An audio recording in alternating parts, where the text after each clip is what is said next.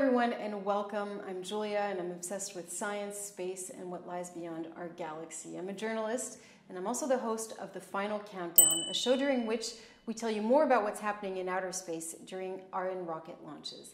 Now, I'm doing this video because unfortunately there won't be any show tonight. Uh, we'll be letting the 252nd Ariane 5 rocket lift off in Kourou, French Guiana, all by itself. But it is a one time thing. We'll be back very soon with another liftoff.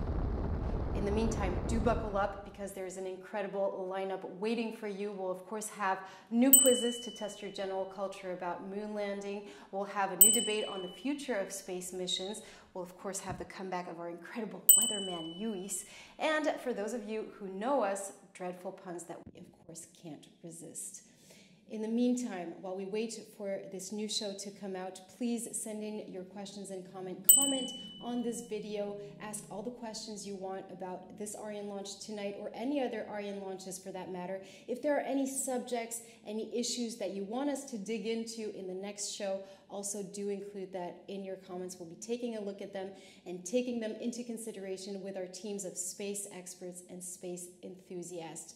Thank you to all of you. Have a wonderful night and a wonderful liftoff.